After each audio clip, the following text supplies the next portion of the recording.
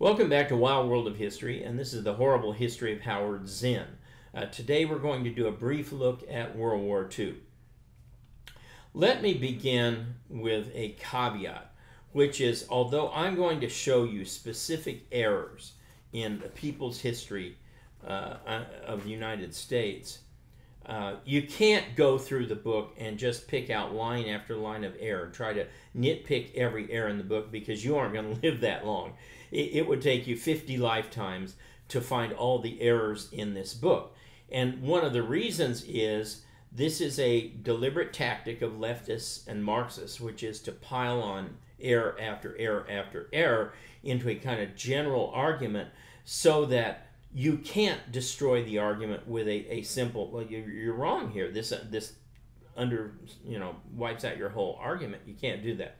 So really to to attack a book like this and, and really defeat it you have to understand that you're fighting against a, an approach to writing history that says uh, that is based on marxism that basically moves you to a whole other playing field. The idea here for Zinn and any leftist and any Marxist is to get you off the playing field of truth and fact and get you onto the playing field of, of basically feelings by heaping a whole bunch of unrelated facts together in a way that would seem to make their point. Now, Marx in particular was very good about creating a whole new language. I've been over this in one of the other lessons whole language of labor theory of value, reinvested dub, uh, dead substance, um, bourgeoisie, proletariat, um, all this kind of nonsense, class struggle. Um, you can't defeat these one at a time. I mean, you can, but what he wants to do is to completely move the playing field into a different arena. So, in order to attack Marx or any of his goofball ideas, you have to uh, get on that playing field and really defeat the whole structure of Marxism, which is why I don't waste a whole lot of time debunking Marx. You just start with the labor theory of value, which is a wackadoodle goofball idea that nobody would uh, seriously would ever use, and yet it's the basis for all socialism, and certainly it's the basis for our friend Howard Zinn. So, what I'm going to give you are just a, a few, very few um, examples from Zinn's book uh, in the chapter on uh, World War II. And again, his goal here is to uh, combine a whole bunch of rather unrelated stuff or unsupported stuff in a way that would make his broader point that the U.S. is horrible. Specifically in World War II, that the U.S. was no better than the Germans and the Japanese. So let's begin on page 411 of A People's History. and he's trying to make the argument that the United States provoked war with Japan. And he uses as part of his evidence the following. I'm just going to read you the passage. This is page 411. One of the judges in the Tokyo war crimes trial after World War II, Radhabinod Pal, that's the guy's name, Radhabinod Pal, dissented from the general verdicts against the Japanese, that is, everybody else said the Japanese were guilty. But you got this one guy who said, oh, no, they're, they're not guilty. And he argued that the United States had clearly provoked the war with Japan and expected Japan to act. Then Zinn says, Richard Minear, this is an author, and in parentheses, he has a Victor's Justice, that is the book that Minear supposedly wrote. He doesn't give any publishing details or any page number sums up Pal's argument of the embargoes on scrap iron and oil, saying, quote, these measures were a clear and potent threat to Japan's very existence. Yeah, so they were meant to be. These measures came at the end of the 1930s after Japan had been running rampant in China, had been slaughtering Chinese civilians, had uh, engaged in what was called the Rape of Nanking, in which some 20,000 Chinese young men were lined up against walls outside Nanking and just machine gunned down, in which every woman in Nanking itself was raped, hence the term the Rape of Nanking. so these measures that are a threat to Japan's existence came at the end of a whole bunch of measures in the 1930s uh, various sanctions that Roosevelt was laying on the Japanese to get them to stop. Get out of China. You don't want the measures? It's easy. Easy solution. Get out of China. Stop killing Chinese. Stop killing Chinese people. Stop invading China.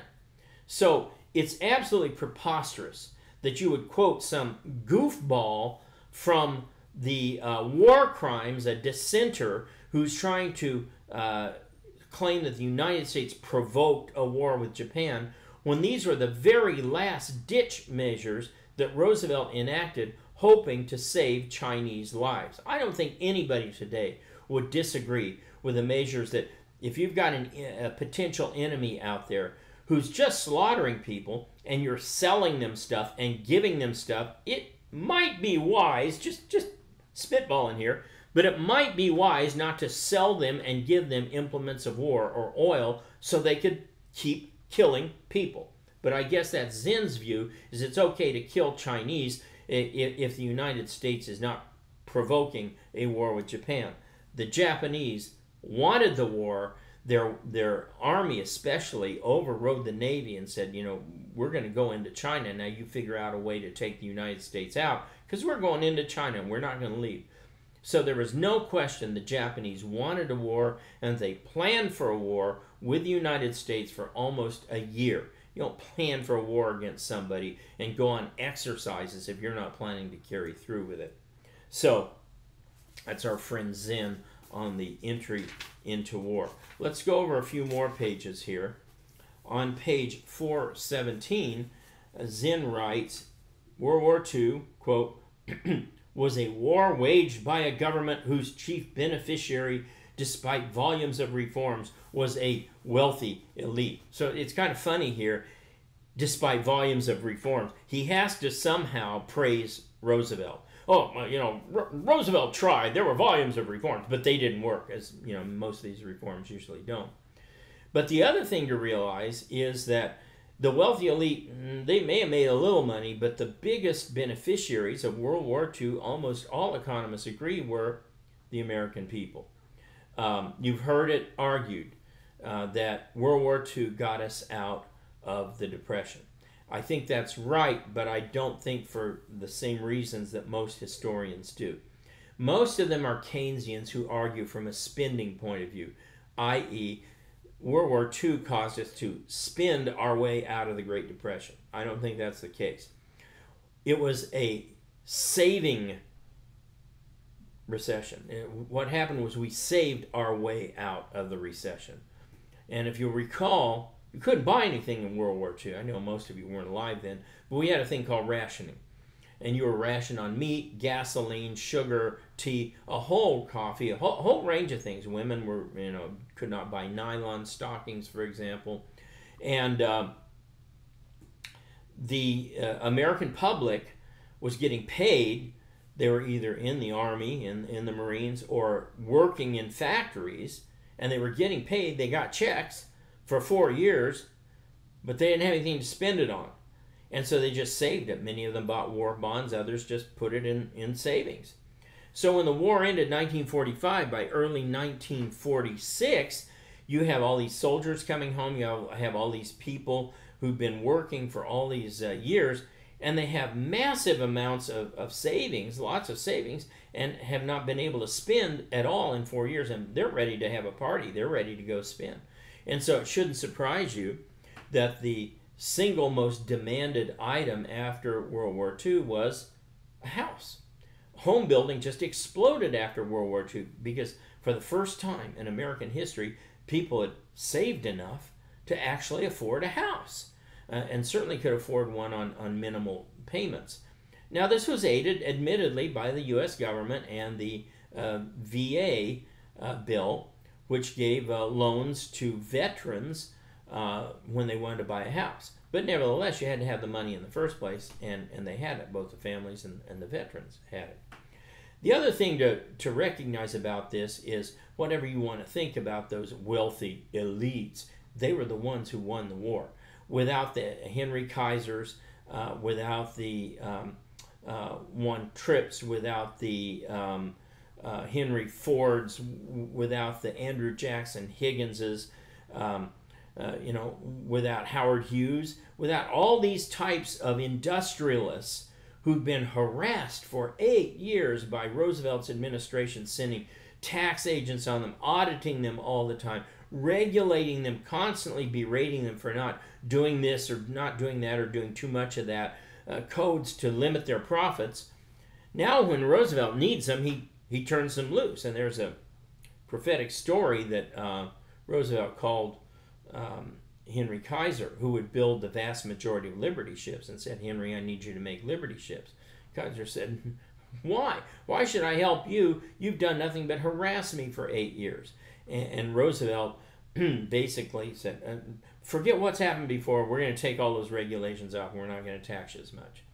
So Kaiser ended up uh, building all the Liberty ships. And of course, as I said in a previous lesson, Andrew Jackson Higgins was the man who won the war because he built so many landing craft.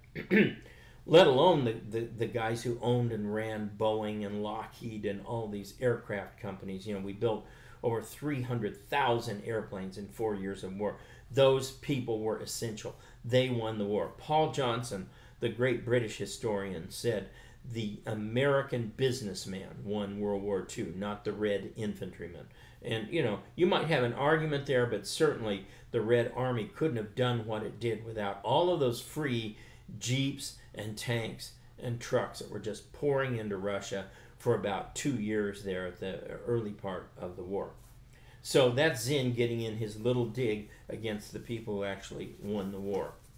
Let's go to just one more here. Uh, this is the old canard that Japan would have surrendered without the atomic bomb. And at the bottom of page 422, Zinn says, and he's quoting the U.S. Strategic Bombing Survey. Based on a detailed investigation of all the facts and supported by the testimony of surviving Japanese leaders involved, it is the survey's opinion that certainly prior to December 31, 1945, and in all probability prior to November 1, 1945, Japan would have surrendered even if the atomic bombs had not been dropped. You might want to tell that to the Japanese leaders. Um, a uh, Japanese historian named Asada has gotten into all of the World War II Japanese archives of, of the government that was in operation at the time. And what he found with the War Council after the first bomb was dropped was they were in no mood to surrender. They weren't even thinking about surrender after being hit with an atomic bomb. Prior to that, Asada said that they weren't even considering surrender. They were going to hold on till the bitter end. And what gave them confidence that they could do that was uh, the very bloody taking of the island of Okinawa. That was incredibly um, bloody for the United States, costly. Uh, we had very severe casualties, had a number of ships sunk by kamikazes, uh, far more than any other time during the war. and that gave many American leaders a great pause in saying, we're going to replicate Okinawa maybe 10 or 12 times in invading the home islands of Japan. That's going to cost us a lot. And, and so the conclusion by Asada, the conclusion by virtually every other, Richard B. Frank and others, um, uh, is that the invasion of Japan um, was, as far as we had planned it, underestimating the amount of re- uh, resistance.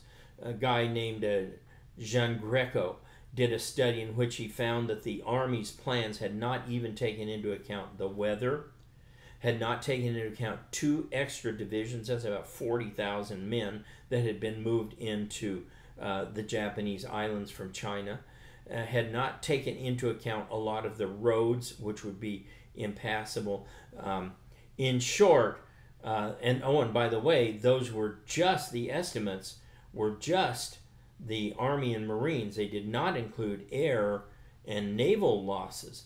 And those estimates were that should the U.S. actually have invaded Japan, it would have cost us about a million casualties and perhaps as many as 10 million Japanese casualties. Um, so when you look at it from that perspective, the atomic bomb saved tremendous numbers of lives, both American and Japanese.